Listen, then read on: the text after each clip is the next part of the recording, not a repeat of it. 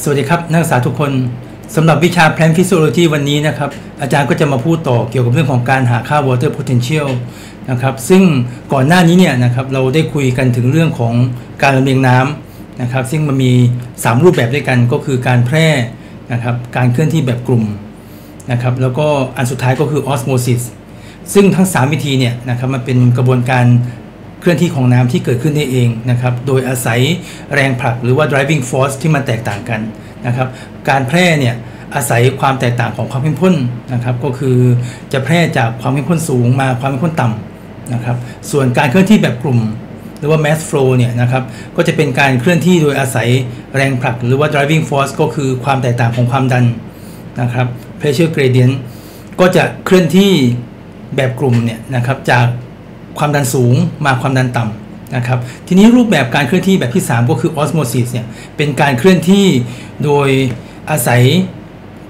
การแพร่แล้วก็การเคลื่อนที่แบบกลุ่มร่วมกันก็คืออาศัย driving force นะครับทั้ง 2 อันก็คือ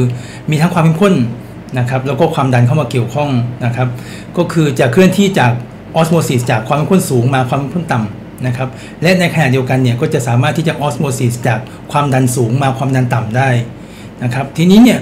ถ้าทั้งสองบริเวณเนี่ยหรือว่าสองฝั่งของ membrane ที่มันที่มันเป็นตัวกั้นเนี่ยนะครับมันฝั่งหนึ่งมีความเข้มข้นสูง แต่ความดันต่ำนะครับกับอีกฝั่งหนึ่งคือมีความดันต่ำแต่ความเข้มข้นสูงเนี่ยนะครับคือมันจะมีทิศทางในการเคลื่อนที่ของน้ำออสโมซิสจากทางไหนไปทางไหนนะครับก็เลยเกิด concept ของการรวมแรงทั้งสองอันเข้าด้วยกันนะครับก็คือเอาความเข้มข้นเนี่ยนะครับแปลงให้เป็นพลังงาน นะครับแล้วก็เอาความดันเนี่ยแปลงให้เป็นพลังงาน ก็เลยเกิดเป็นการรวมแรงกันนะครับเกิดเป็น total driving force นะครับซึ่งมันจะรวมทั้ง 2 อันเข้าด้วยกันเนี่ยนะครับแล้วก็เกิดเป็นแรงผลักรวมนะครับซึ่งแรงผลักรวมที่เขาใช้เนี่ยก็คือเป็นพลังงานอิสระของน้ำนะครับแต่ในการคำนวณเนี่ยก็จะค่อนข้างยุ่งยุ่งยากนิดนึงนะครับนักสุริยวิทยาของพืชเนี่ยก็เลยมีการใช้หน่วยอันใหม่ขึ้นมานะครับก็คือแปลงความเข้มข้นเนี่ยให้เป็นความดันซะ นะครับแล้วก็ความดันเนี่ยเป็นหน่วยเดียวกับความดัน มันก็มารวมกันได้ แล้วก็ดูว่าใช้แทนพลังงานอิสระนะครับ เพราะฉะนั้นหัวข้อในวันนี้ที่อาจารย์จะพูดถึงก็คือเรื่องของค่า water potential นะครับทีนี้การหาค่า water potential เนี่ยนะครับมันต้องมาดูก่อนว่าค่า water potential เนี่ยมันมีองค์ประกอบอะไรบ้างนะครับ เมื่อพูดถึงพลังงานของสารหนึ่งหนึ่งเนี่ยนะครับมันจะมีสี่องค์ประกอบด้วยกัน นะครับค่า water potential เนี่ยเราเขียนแทนด้วยสัญลักษณ์ก็คือตัวไซนะครับไซ W ก็คือค่า water potential นะครับค่า water potential เนี่ยหรือว่าพลังงานของสารอะไรก็ตามเนี่ยนะครับมันมีอยู่ 4 องค์ประกอบด้วยกันก็คือ อันที่ 1 คือความเข้มข้นนะครับ concentration คือความเข้มข้นมีผลต่อพลังงานนะครับ pressure นะครับก็มีผลนะครับ gravity นะครับ gravity คือแรงโน้มถ่วงของโลกนะครับก็จะมีผลต่อ เรื่องของค่า potential นะครับแล้วก็ electrical potential นะครับคือมี 4 ปัจจัยด้วยกันก็คือ ความเข้มข้นความดันนะครับแรงโน้มถ่วง แล้วก็ประจุไฟฟ้านะครับทีนี้ต้องมาดูก่อนว่าอันนี้เป็นการพิจารณาการเคลื่อนที่ของน้ำนะครับซึ่งน้ำในภาพรวมเนี่ยนะครับมันไม่มีประจุไฟฟ้านะครับก็เลยตัดตัดตัว factor ก็คือปัจจัยในเรื่องของค่า electrical นะครับประจุไฟฟ้าทิ้งไปนะครับแล้วก็ เรากำลังพิจารณาการเคลื่อนที่แบบออสโมซิสซึ่งเป็นการเคลื่อนที่จากด้านหนึ่งไปอีกด้านหนึ่งของเซลล์นะครับเข้าหรือออกจากเซลล์ระยะทางมันใกล้มากๆนะครับแล้วมันก็ไม่มีความสูงความสูงถือว่าเป็นศูนย์นะครับเพราะฉะนั้นเราก็จะไม่ไม่เอาไอ้ส่วนของ gravity เนี่ยมาคิดนะครับก็เลยพูดง่ายๆ ได้ว่าค่า water potential นี่มี 2 องค์ประกอบด้วยกันนะครับก็คือความเข้มข้นกับความดันนะครับเหมือนที่เราได้พูดถึงกันมาก่อนหน้านี้แหละนะครับทีนี้ องค์ประกอบของค่า water potential เนี่ยสูตรในการหาค่า water potential ก็คือสูตรนี้นะครับนักศึกษา sin W ค่า water potential เนี่ยมีค่าเท่ากับ sin S นะครับ sin S sin S ก็คือเป็นสัญลักษณ์แทนสิ่งที่เรียกว่า osmotic potential นะครับเป็นพลังงานสัตว์นะครับที่เกิดจากเป็นสัตว์ที่เกิดจากสารเคมีก็คือตัวถูกละลายนะครับบวกกับ sin P sin P คือ pressure potential หรือสัตว์ความดัน นะครับ เพราะฉะนั้นองค์ประกอบในการหาค่า water potential นี่มี 2 อันด้วยกันก็คือ osmotic potential กับ pressure potential นะครับ ซึ่งหน่วยของค่า water potential เนี่ยมีค่าเป็นเมกะปาสคาลนะครับ m ใหญ่ p ใหญ่แล้วก็ a เล็กนะครับ โดยที่1เมกะปาสคาลเนี่ยมีค่าเท่ากับ 10 บาร์นะครับ อันนี้คือสูตรที่ใช้ในการหาค่า water potential นะครับ ทีนี้มาดูแต่ละองค์ประกอบกันนะครับ อันที่ 1 ก็คือ osmotic potential หรือ psi s นะครับ psi s เนี่ย เป็นผลที่เกิดจากตัวถูกละลายที่มันไปละลายในน้ำนะครับ ยิ่งน้ำมีตัวถูกละลายนะครับ ตัวถูกละลายนะครับนี่จารสะกดผิดนิดนึงนะครับ ตัวถูกละลายก็คือโซลูดเนี่ยถ้ามันมีมากเท่าไหร่นะครับ มันจะยิ่งทำให้พลังงานของน้ำเนี่ยมีน้อยลงเท่านั้น นะครับ ยิ่งน้ำบริสุทธิ์มากเนี่ยพลังงานมันสูงนะครับ พอมีสารเข้าไปเจือปนปุ๊บเนี่ยนะครับน้ำความเข้มข้นของน้ำมันมันลดต่ำลงนะครับ พลังงานมันก็ลดต่ำลงนะครับ ยิ่งมีสารเข้าไปเจือปนมาก ยิ่งมีตัวตัวโซลูดเข้าไปมากเนี่ยนะครับ มันยิ่งทำให้ค่าออสโมติกโพเทนเชียลเนี่ยมันลดต่ำลง ก็คือพลังงานของน้ำมันน้อยลงไปเรื่อยๆนะครับ ทีนี้การหาค่า osmotic potential หรือ psi s เนี่ยหาได้จากอะไรก็หาได้จากสูตรที่เรียกว่า Van Hoff equation นะครับ Van Hoff equation เนี่ยสูตรก็คือ psi s นะครับ osmotic potential เท่ากับลบนะครับอย่าลืมเครื่องหมายลบสำคัญมากๆนะครับ ลบเป็นการบอกว่ายิ่งมีตัวถูกละลายมากเท่าไหร่ ยิ่งทำให้ค่า osmotic potential มันลดต่ำลงมากเท่านั้นนะครับ อันนี้คือลบนะครับ ส่วน I I คือค่าจำนวนอนุภาคที่เกิดจากการแตกตัวของสารละลายนะครับ สารตัวนั้นเนี่ย ละลายในน้ำปุ๊บมันแตกตัวหรือเปล่านะครับถ้ามันไม่แตกตัวยกตัวอย่างเช่นซูโครสนะครับซูโครสเนี่ยละลายน้ำแล้วไม่แตกตัวนะครับก็จะมีค่า I เท่ากับ 1 นะครับแต่ถ้าเกิดเป็นโซเดียมคลอไรด์นะครับโซเดียมคลอไรด์ซึ่งมันละลายน้ำแล้วมันจะได้เป็นโซเดียมบวกกับคลอไรด์ลบนะครับมันก็จะได้ 2 2 ประจุนะครับ2 2ตัวด้วยกันนะครับซึ่งตรงนี้เนี่ยค่า I ก็จะเท่ากับ 2 นะครับ อันนี้คือค่า I คือจำนวนอนุภาคที่เกิดจากการแตกตัวของสารนะครับ R R คือค่าคงที่ของแก๊สนะครับ มีค่าเท่ากับ 0.00831 นะครับ อันนี้เป็นเป็นค่าคงที่ของแก๊สที่เรารู้กันอยู่แล้วนะครับ T T คืออุณหภูมิในหน่วยเคลวินนะครับ อุณหภูมิในหน่วยเคลวินแปลงจากองศาเซลเซียสเป็นเคลวินแปลงเป็นไหมครับแปลงได้ใช่ไหมครับเคลวินก็คือเซลเซียสนะครับองศาเซลเซียสบวก 273 นะครับ อันนี้คือแปลงจากเซลเซียสเป็นเคลวิน ส่วน CS CS คือความเข้มข้นของตัวถูกละลายในหน่วย molal นะครับ มันเข้มข้นเท่าไหร่ก็จะเป็นค่า C ตรงนั้นนะครับ เพราะฉะนั้นจะเห็นได้ว่าค่า I ค่า R ค่า T เนี่ยก็จะก็จะค่อนข้างคงที่นะครับสำหรับสารหนึ่งหนึ่งนะครับที่เปลี่ยนไปก็คือค่า C นะครับเข้มข้นมากเท่าไหร่นะครับเราก็จะดูตรงนี้นะครับค่า sin S เนี่ยก็จะส่งก็จะมีผลที่เกิดจาก ตัว C S เป็นสำคัญนะครับ ยิ่ง C สูงนะครับ คือความเข้มข้นมากนะครับ sin S ก็จะยิ่งลดต่ำลงนะครับ นั่นเป็นการแสดงว่ายิ่งมีตัวถูกละลายมาก พลังงานหรือว่าสัตว์ออสโมติกเนี่ยนะครับ มันจะลดต่ำลงนะครับเนาะอันนี้คือสูตรที่เราใช้ในการหาลองดูนะครับ น้ำบริสุทธิ์เนี่ยมีค่า water potential หรือค่า osmotic potential นี่เท่ากับ 0 นะครับก็คือตัว C เนี่ยนะครับถ้าเกิดเราดูสูตรของ Van Hoff equation นะครับลบ IRT CS เมื่อน้ำบริสุทธิ์นะครับ CS มีค่าเป็น 0 นะครับ คือไม่มีตัวถูกละลายเลยนะครับไม่ศูนย์คูณอะไรก็ได้ 0 นะครับ ก็มีค่าเท่ากับ 0 นะครับ ยิ่งน้ำมีตัวโซลูดมากเท่าไหร่นะครับ จะยิ่งทำให้ค่า osmotic potential ลดลงนะครับ คือมีค่าติดลบมากขึ้นนะครับ ตามทันนะครับ มีค่าติดลบมากขึ้น คือมีค่าน้อยลงเรื่อยๆ นะครับเนื่องจากว่าน้ำไอตัวโซลูดเนี่ยนะครับมันจะไปเจือจางความเข้มข้นของน้ำให้มันลดต่ำลงนะครับ อันนี้คือตัวค่าการหาค่า osmotic potential ทีนี้เราทดสอบดูนะครับ โจทย์ถามว่าจงหาค่า osmotic potential ของสารละลายซูโครสเข้มข้น 0.02 โมเลลนะครับ ที่อุณหภูมิ 27 องศาเซลเซียสนะครับ และหาค่า osmotic potential ของสารละลายโซเดียมคลอไรด์ที่เข้มข้นเท่ากันณอุณหภูมิเดียวกันนะครับลอง stop วิดีโอนี้สักพักหนึ่งก่อนนะครับ แล้วลองคำนวณดูจากสมการที่ให้ก่อนหน้านี้นะครับ ลองหาดูนะครับ หยิบเครื่องคิดเลขขึ้นมานะครับ แล้วก็ลองหาดูนะนะครับ เท่ากับเท่าไหร่นะครับอะเมื่อกี้นี้นะครับซูโครสนะครับซูโครสเข้มข้น 02 โมเลลนะครับ 27 องศาเซลเซียสนะครับ ใช้สูตรของ Van Hoff equation ก็คือ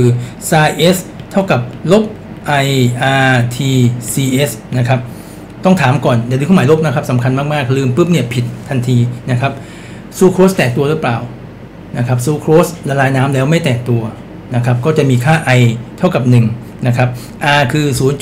0.0083 นะครับ T คือ 27 องศาเซลเซียสบวก 273 ก็กลายเป็น 300 นะครับ แล้วก็คูณด้วยค่าความเข้มข้นก็คือ 0.02 โมเลลนะครับ ลองกดเครื่องคิดเลขดูนะครับ กดออกมาปุ๊บ ได้เท่ากับลบ 0.4อ่า049 เมกะปาสคาลนะครับ อันนี้คือค่า osmotic potential ของซูโครสนะครับ ส่วนค่า osmotic potential ของโซเดียมคลอไรด์เนี่ยนะครับที่ความเข้มข้นเท่ากัน นะครับก็สูตรเดียวกันเมื่อกี้นี้นะครับสูตรของ Van Hoff equation psi s นะครับ osmotic potential เท่ากับลบ i r t c s นะครับลบอย่าลืมเครื่องหมายลบนะครับโซเดียมคลอไรด์ละลายน้ำแล้วแตกตัวกลายเป็นโซเดียมอิออนกับคลอไรด์อิออนนะครับค่า i เท่ากับ2นะครับค่า r ก็คือ 0.0083นะครับ1คูณกับ t คือ 300นะครับคูณกับ ความเข้มข้นคือ 0.02 โมเลลนะครับ คูณปุ๊บกดเครื่องคิดเลขออกมาได้เท่ากับลบ 0.099 เมกะปาสคาลนะครับ อันนี้คือสูตรที่ใช้ในการหาค่า osmotic potential นะครับ เราได้ตัวหนึ่งแล้วนะครับ ทีนี้อย่าลืมว่าค่า water potential เนี่ยนะครับ มี 2 องค์ประกอบด้วยกันก็คือ sin s บวก sin p sin s หาได้ยังไงหาได้เป็นแล้วนะครับ เนาะ ทีนี้ sin p pressure potential นะครับ pressure potential เนี่ยไม่มันไม่ได้มีสูตรในการหานะครับผมมันเป็นแรงที่มากระทำต่อเซลล์นะครับถ้าเกิดเซลล์นั้นเนี่ยนะครับน้ำข้างในเนี่ยมันดันให้เซลล์มันเต่งออกนะครับก็แสดงว่าสภาวะนั้นเนี่ยนะครับมันอยู่ภายใต้สภาวะแรงดันนะครับหรือแรงดันเป็นบวกนะครับ positive hydrostatic pressure คือแรงดันเป็นบวกนะครับก็คือเซลล์มันเต่งนะครับเต่งเต่งมากเต่งน้อยก็ขึ้นอยู่กับความดันว่ามันดันมากหรือดันน้อยนะครับอีกสภาวะหนึ่งคือเซลล์มันเหี่ยว นะครับคือเซลล์มันยุบลงไปนะครับ อันนี้เนี่ยคือเปรียบเสมือนกับเซลล์มันอยู่ภายใต้สภาวะแรงดึงหรือ negative hydrostatic pressure นะครับก็คือมันเหี่ยวเหี่ยวมากเหี่ยวน้อย ก็ขึ้นอยู่กับแรงที่มากระทำกับมัน เพราะฉะนั้นแรงดันเนี่ยจะมีถ้าเกิดว่ามันเป็นศูนย์ก็คือไม่เต่งไม่เหี่ยวนะครับถ้าเกิดว่ามันเป็นบวกก็คือเซลล์มันเต่งนะครับยิ่งเต่งมากก็คือบวกมากๆนะครับมีค่าบวกมากๆ กับอีกสภาวะหนึ่งคือแรงดันเป็นลบนะครับ negative pressure ก็คือเซลล์มันเหี่ยวนะครับถ้าเหี่ยวนิดเดียวก็ลบน้อยหน่อยนะครับถ้าเกิดเหี่ยวมากๆก็ลบมากนะครับอันนี้คือ pressure potential นะครับเราก็สามารถที่จะรู้องค์ประกอบของค่า water potential แล้วนะครับทีนี้แถมให้นิดนึงแล้วกันนะครับอีกค่าหนึ่งก็คือค่าที่เรียกว่า gravitational potential หรือว่า psi g นะครับ อย่างที่บอกไปแล้วว่าในการพิจารณาการเคลื่อนที่ของน้ำในการเข้าแล้วก็ออกจากเซลล์ซึ่งมันระยะทางใกล้ ๆ กันเนี่ยนะครับเป็นไมครอนเนี่ยเราไม่ต้องเอาตรงนี้มาคิดก็ได้นะครับ แต่ถ้าเกิดว่าเรากำลังพิจารณาการเคลื่อนที่ของน้ำที่มันอยู่สูงๆขึ้นไปนะครับ ยกตัวอย่างเช่น การลำเลียงน้ำจากรากขึ้นไปสู่ยอดไม้ที่มันสูง 1 เมตรเนี่ยนะครับ ต้องเอาค่าตัวไซจีมาคิดด้วยนะครับเพราะต้องใช้แรงเข้ามาเกี่ยวข้องนะครับ ซึ่งไซจีเนี่ยหาได้จากสูตรก็คือ low gh นะครับไซจีเท่ากับ low gh โดยที่ low เนี่ยมีค่าก็คือความหนาแน่นของน้ำนะครับ 0.001 กรัมต่อลูกบาศก์เมตรนะครับ ส่วนค่า g ก็คือค่าคงที่แรงโน้มถ่วงของโลกนะครับ มีค่าเท่ากับ 9.8 เมตร ต่อวินาทีนะครับ แล้วก็ h ก็คือความสูงนะครับ มีหน่วยเป็นเมตรนะครับ ก็คือหาได้จาก low gh นะครับสำหรับค่าสักแรงโน้มถ่วงของโลกนะครับ ก็อันนี้เป็นตัวอย่างในการคำนวณนะครับ ลองคำนวณหาค่า gravitational potential ของน้ำที่จะถูกลำเลียงขึ้นไปบนยอดพืชสูง 100 เมตรนะต้นต้นนี้สูงมาก ๆ เลยนะครับเนาะก็ใช้สูตรง่าย ๆ นะครับ sin g เท่ากับ rho gh นะครับเนาะ rho เท่ากับ 0.001 นะครับคูณกับค่า g ก็คือ 9.8 นะครับ แล้วก็ความสูงก็คือ 100 เมตรนะครับคูณมาปุ๊บ กดเครื่องคิดเลขออกมาก็เท่ากับ 0.98 เมกะปาสคาล นะครับอันนี้คือค่า sin g นะครับทีนี้เราทราบวิธีการคำนวณหาค่า water potential แล้วนะครับค่า water potential นี่เอามาใช้งานได้ยังไงนะครับมันใช้ในการบอกว่าน้ำเนี่ยนะครับจะมีการ osmosis เข้าหรือออกจากเซลล์หรือในทิศทางไหนนะครับ โดยที่น้ำจะเคลื่อนที่เข้าหรือออกจากเซลล์เนี่ยตามความแตกต่างของค่า water potential นะครับ น้ำจาก osmosis จากค่า water potential สูง ไปยังบริเวณที่มีค่า water potential ต่ำนะครับ น้ำเคลื่อนที่จากไซน์ W สูงไปไซน์ W ต่ำนะครับทีนี้เราจะคำนวณได้ยังไงนะเราจะดูว่ายังไงอะดูจากตัวอย่างก่อนนะครับ สมมติว่าอาจารย์มีน้ำบริสุทธิ์ในบิ๊กเกอร์นะครับน้ำบริสุทธิ์เลยเพียวๆเลยนะครับเนาะลองดูนะครับอาจารย์มีน้ำบริสุทธิ์อยู่นะครับ อันนี้คือเป็นน้ำบริสุทธิ์เฉยๆเลย นะครับในบิ๊กเกอร์จงหาค่า water potential เท่ากับเท่าไหร่นะครับนักศึกษาก็ตั้งเลยนะครับ สมการก็คือค่า water potential เท่ากับ osmotic potential บวกกับ psi p นะครับก็คือ pressure potential โดยที่ osmotic potential เท่ากับลบ IRT CS ถูกไหมครับ บวกกับ psi p นะครับบวกกับ psi p อะค้างไว้ก่อนนะครับ ทีนี้ น้ำบริสุทธิ์มีตัวถูกละลายไหม ไม่มีนะครับก็คือก็คือค่า c เนี่ยมีค่าเป็น0นะครับเพราะฉะนั้นตัว psi s มีค่าเป็น0นะครับทีนี้ psi p ของน้ำในบีกเกอร์เนี่ยลองพิจารณาดูน้ำในบีกเกอร์เนี่ยมีอะไรไปบีบ มีอะไรไปดึงให้มันยืดตัวให้มันหดตัวให้มันดันให้มันอะไรไหมไม่มีนะครับเพราะฉะนั้นน้ำในบิ๊กเกอร์เปล่าๆเนี่ยนะครับที่ไม่มีอะไรไปดันมันไม่มีอะไรไปดึงมันเนี่ยนะครับ sin p มันก็มีค่าเท่ากับ0นะครับเพราะฉะนั้น ตัวค่า water potential ของน้ำบริสุทธิ์ในบิ๊กเกอร์เนี่ยนะครับก็จะมีค่ากับ0เมกะปาสคาลอย่าลืมใส่หน่วยด้วยนะครับเนาะอันนี้คืออค่า water potential นะครับของน้ำบริสุทธิ์นะครับ ทีนี้ลองโจทย์ใหม่นะครับ สารละลายซูโครสเข้มข้น 0.1 molal นะครับซูโครสเข้มข้น 0.1 molal ในบีกเกอร์นะครับในบีกเกอร์เนาะนะครับอันนี้เป็นตัวใหม่อะนะครับซูโครส เข้มข้น 0.1 molal นะครับหาค่า water potential ของสารละลายนี้นะครับก็ตั้งสูตรธรรมดานะครับค่า water potential เท่ากับ psi s บวก sin p นะครับ sin s เท่ากับลบ i r t cs บวกกับ sin p นะครับซูโครสแตกตัวไหม ไม่แตกตัวนะครับ เพราะฉะนั้นลบ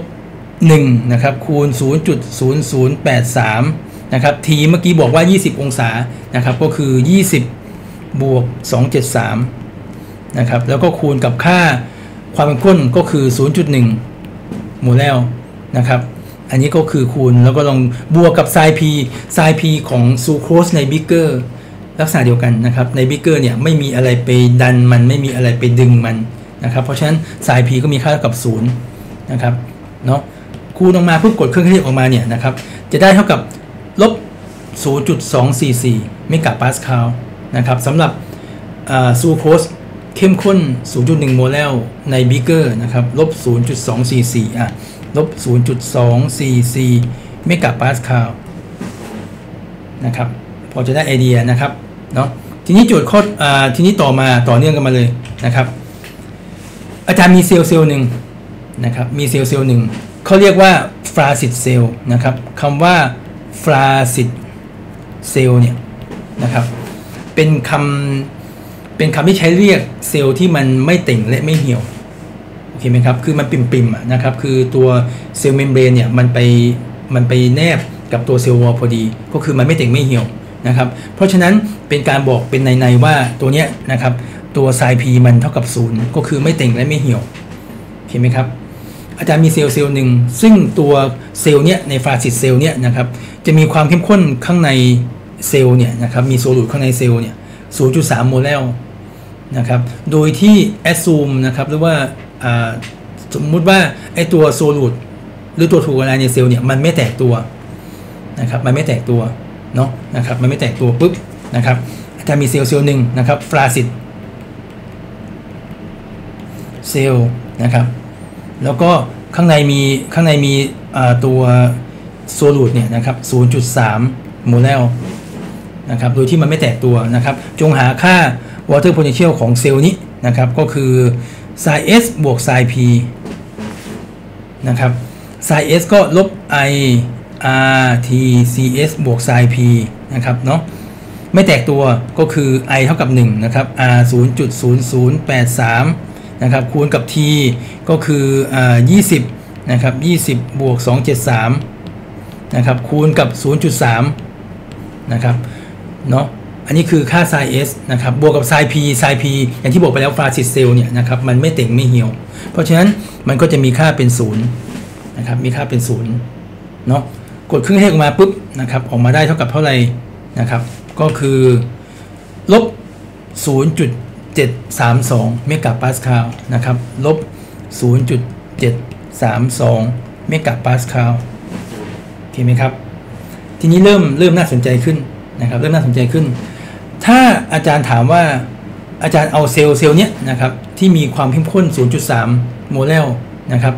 ไปใส่ในสารละลายซูโครสนะครับเข้มข้น 0.1 molal นะครับเข้มข้น 0.1 molal ในบีกเกอร์นะครับถ้าอาจารย์เอาเซลล์เนี่ยนะครับ 0.3 molal ใส่เข้าไปในบีกเกอร์ที่มีซูโครสเข้มข้น 0.1 molal นะครับถามว่าน้ำจะ เคลื่อนที่หรือออสโมซิสเข้าหรือออกจากเซลล์นะครับ เข้า หรือออก จากเซลล์นะครับ น้ำจากออสโมซิสเข้าหรือออกจากเซลล์ขึ้นอยู่กับอะไรก็ขึ้นอยู่กับค่า water potential โดยที่น้ำจะเคลื่อนที่จากค่า water potential สูงกว่าไปต่ำกว่านะครับ ในเซลล์มีค่า water potential ลบ0.732 นะครับ ในบีกเกอร์ นะครับสารละลายบีกเกอร์มีค่าเท่ากับลบ 0.244 เมกะปาสคาล ตัวไหนที่มีค่า water potential มากกว่ากันคำตอบก็คือข้างนอกใช่ไหมครับซูโครส0.1 molal เนี่ยมีค่า water potential สูงกว่าใช่ไหมครับน้ำก็จะออสโมซิสจากค่า water potential สูงนะครับเนาะก็คือลบ 0.244 นะครับลบ 0.244 เมกะปาสคาลนะครับไปยังลบ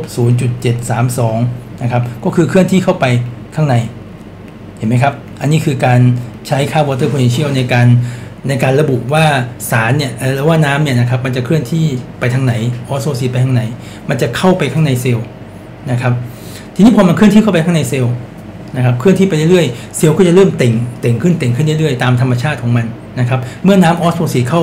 แน่นอนเซลล์ไม่มีทางเหี่ยว นะครับเซลล์มันก็จะเต่งขึ้นเต่งขึ้น ในกรณีที่เป็น flaccid cell นะครับทีนี้เมื่อน้ำหยุดออสโมซิสแล้วเนี่ยนะครับถามว่าสุดท้ายเนี่ยเซลล์นะครับจะเต่งหรือเหี่ยวนะครับคำตอบอันนี้น่าจะพอเดาได้ก็คือเต่งแน่นอน เพราะว่าน้ำออสโมซิสเข้านะครับ แล้วมีแรงดันเท่ากับเท่าไหร่นะครับ เต่งเนี่ยเต่งมากหรือเต่งน้อย ด้วยแรงดันเท่าไหร่นะครับเนาะอันนี้คือคำถามหรือโจทย์ที่ที่ให้หานะครับทีนี้ก็มาดูก่อนว่า พอน้ำมันหยุดออสโมซิสเข้าไปในเซลล์นะครับเมื่อไรที่น้ำจะหยุดออสโมซิสนะครับน้ำหยุดนะครับน้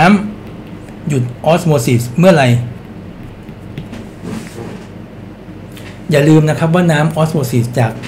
ค่า water potential สูงไปค่า water potential ต่ำ นะครับ ทีนี้ถ้าน้ำจะหยุดหยุดออสโมซิสนั่นหมายความว่าค่า water potential ข้างนอก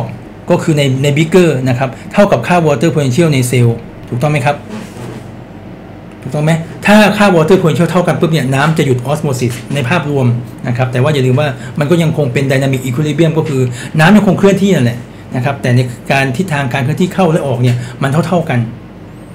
นะครับเนาะแต่มันหยุดอะพูดว่ามันหยุดออสโมซิส รวมอะนะครับ เมื่อค่า water potential ใน บีกเกอร์ เท่ากับค่า water potential ในในเซลล์นะครับเนาะค่า water potential ในข้างนอกก็คือ sin s บวก sin p นะครับค่า water potential ข้างในเซลล์ก็กับ sin s บวก sin p แตกสมการนี้ออกมานะครับค่า water potential ข้างนอกเซลล์คือใน bigger เนี่ยอย่าลืมว่าน้ำมันออสโมซิส เข้าไปในเซลล์นะครับเซลล์เกิดการเต่ง แต่ว่า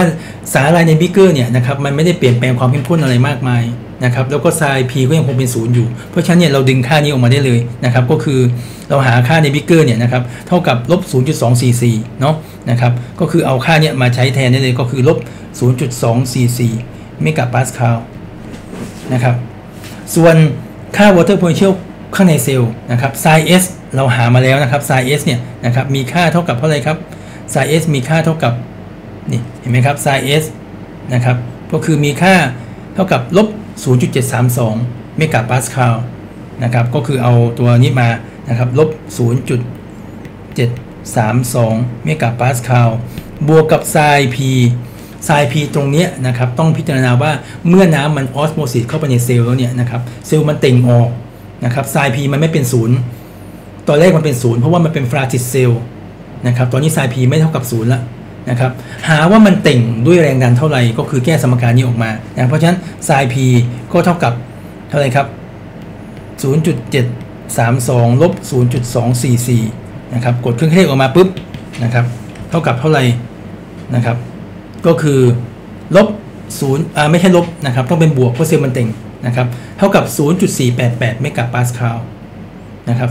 0.488เมกะปาสคาล อันนี้คือแรงดันที่เซลล์มันจะเต่งออก เห็นไหมครับ เราใช้ความรู้เกี่ยวกับเรื่องของค่า water potential มาใช้ในการทำนายนะครับ ในการบอกว่าน้ำจะออสโมซิสจากในทิศทางเข้าหรือออกจากเซลล์ เซลล์จะเต่งหรือเซลล์จะเหี่ยวนะครับ เต่งหรือเหี่ยวด้วยแรงดันเท่าไหร่นะครับ อันนี้ลอง อันนี้ลองไปทบทวนดูนะครับ การคำนวณเนาะนะครับที่สรุปนะครับในการเคลื่อนที่ของน้ำเข้าและออกจากเซลล์เนี่ย อย่างที่บอกไปแล้วนะครับ น้ำจะออสโมซิสตามค่า water potential gradient ก็คือจากบริเวณที่มีค่า water potential สูงไปค่า water potential ต่ำนะครับ ถ้าเกิดค่า water potential ของสารละลายกับในเซลล์มันเท่ากันนะครับ มันก็จะไม่มีการเคลื่อนที่สุทธิของน้ำนะครับ ถ้าค่า water potential ของสารละลายมันสูงกว่าค่า water potential ในเซลล์นะครับน้ำก็จะเคลื่อนที่จากสารละลายเข้าไปในเซลล์ เซลล์ก็จะเกิดการเต่งออกนะครับ แต่ทีนี้ในในเซลล์พืชเนี่ย มันมี cell wall หรือผนังเซลล์เนี่ยที่มันอยู่ข้างนอกนะครับการที่เซลล์มันเต่งเนี่ยมันก็ไม่ได้เต่งแบบบวมขึ้นมานะครับมันก็ยังอยู่ภายใต้สภาวะที่มันมันเป็นคือมี cell wall ดันไว้อยู่นะครับส่วนถ้าเกิดว่าค่า water potential ข้างในเซลล์ข้างนอกเซลล์เนี่ยนะครับมันต่ำกว่าข้างในเซลล์น้ำก็จะออสโมซิสจากสูงกว่าไปต่ำกว่าก็คือจากข้างในเซลล์มาข้างนอก เซลล์ก็จะเกิดการเหี่ยวนะครับเกิดการเหี่ยวก็จะเกิดปรากฏการณ์ที่เราเรียกว่า plasmolysis นะครับ plasmolysis คือปรากฏการณ์เซลล์ที่มันเหี่ยวนะครับแต่เหี่ยวของเซลล์พืชเนี่ยนะครับไอตัวที่มันเหี่ยวเนี่ยก็คือตัวเยื่อหุ้มเซลล์มันหดเข้าไปนะครับเนื่องจากมันสูญเสียน้ำนะครับแต่ตัว cell wall หรือผนังเซลล์เนี่ยมันยังคงรูปร่างอยู่ได้นะครับมันก็จะเป็นลักษณะแบบนี้นะครับอันนี้คือเซลล์ของอตัวว่านกาบหอยนะครับเราจะเห็นว่า ไอตัวสีชมพูเนี่ยจริง ๆ ก็คือตัวแวคิโอนั่นแหละนะครับแต่ว่าเวลาหดปุ๊บเนี่ยนะครับเราจะสังเกตเห็นง่าย ๆ ว่าทั้งเยื่อหุ้มเซลล์แล้วก็เยื่อหุ้มแวคิโอเนี่ยมันจะหดไปพร้อมกันก็คือน้ำทั้งเซลล์เนี่ยมันเคลื่อนที่ออกมานะครับเราก็จะเห็นไอตัวสีม่วงๆคือแอนโทไซยานินที่มันหดเข้าไปนะครับอันนี้คือปรากฏการณ์ที่เซลล์เหี่ยวหรือเราเรียกว่า plasmolysis นะครับเป็นปรากฏการณ์ที่สังเกตได้ง่าย ๆนะครับ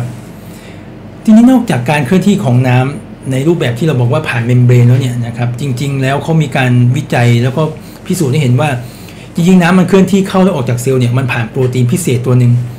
นะครับมันไม่ได้เคลื่อนที่โดยการแพร่ผ่านเยื่อหุ้มเซลล์โดยตรงมากเท่าไหร่นักนะครับไอโปรตีนตัวนี้นะครับมีชื่อว่า aquaporin นะครับซึ่งมันเป็นตัว membrane ที่ membrane protein นะครับอยู่ที่เป็นโปรตีนที่อยู่บน membrane นะครับอยู่ที่เยื่อหุ้มเซลล์ นะครับทำหน้าที่ในการลำเลียงน้ำเข้าแล้วก็ออกจากเซลล์นะครับ ทีนี้นอกจากค่า water potential ที่เราใช้ในการบอกว่าน้ำจะออสโมซิสจากทิศทางไหนไปทิศทางไหนแล้วเนี่ยนะครับ ค่า water potential เนี่ยนะครับยังเอามาใช้ในการเป็นตัวบ่งชี้ปริมาณน้ำในพืชได้อีกด้วยนะครับ เพราะว่าค่า water potential เนี่ย มันจะบอกว่ามันในในเซลล์พืชในต้นพืชนั้นเนี่ยนะครับขณะนั้นเนี่ยมันมีปริมาณน้ำมากหรือน้อยเพียงไรนะครับ แล้วมันส่งผลต่อกระบวนการทางสรีรวิทยาของพืชหลายๆหลายกระบวนการด้วยกันนะครับ ปริมาณน้ำเนี่ยบอกว่าน้ำมากหรือน้ำน้อยเนี่ยนะครับ มันส่งผลต่อกระบวนการสรีรวิทยายังไงบ้างนะครับยกตัวอย่างเช่นนะครับ ถ้าค่า water potential ของต้นพืชนะครับของพืชทั้งต้นเลยเนี่ยนะครับมีค่าสูงนะครับก็คือสมมติว่าเป็นศูนย์คือสูงสุดเลย นะครับจินตนาการเหมือนกับว่าตอนนี้เนี่ยเราลดน้ำพืชเต็มที่นะครับพืชได้รับน้ำเต็มที่ค่า water potential ในเซลล์เนี่ยก็มีค่าเท่ากับศูนย์ก็คือคือมีค่าสูงนะครับ ก็จะทำให้กระบวนการต่างๆที่เกี่ยวข้องกับการเจริญเติบโตเนี่ยมันมันทำงานได้ดี คือความกว้างของแถบเนี่ยมันกว้างแสดงว่ามันมีกระบวนการนี้อยู่เยอะนะครับมีเซลล์ expansion คือการขยายตัวของเซลล์เนี่ยเกิดขึ้นได้ดี นะครับ การสร้างเซลล์วอลเกิดขึ้นได้ดีนะครับ การสร้างโปรตีนก็เกิดได้ดีนะครับ การเปิดปากใบ stomatal conductance ก็ก็เปิดได้ดีนะครับ กระบวนการสังเคราะห์ด้วยแสงก็ดีนะครับ ในขณะที่ก็จะไม่มีการสะสมตัวถูกอะไรนะครับ แล้วก็ไม่มีการสะสมฮอร์โมนที่เรียกว่า abscisic acid หรือ ABA นะครับ ซึ่งฮอร์โมน ABA เนี่ยจะเป็นฮอร์โมนที่เกี่ยวข้องกับการขาดน้ำของพืชนะครับ ทีนี้พอ